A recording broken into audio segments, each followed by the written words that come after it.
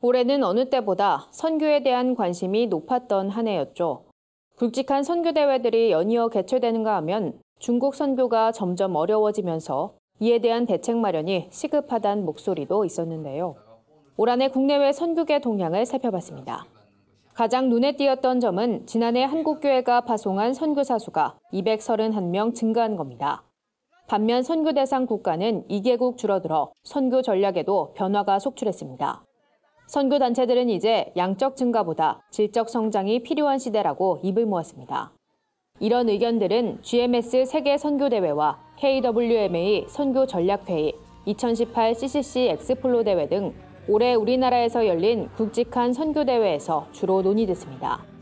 이들 대회는 한국교회의 선교 비전을 제시했단 긍정적인 평가를 얻고 있습니다. 하지만 중국 정부의 교회 핍박 정책으로 중국 선교가 어려워지면서 이에 대한 우려도 잇따랐습니다. 앞으로도 중국의 종교 핍박이 지속될 걸로 보여 대책 마련이 불가피해졌습니다.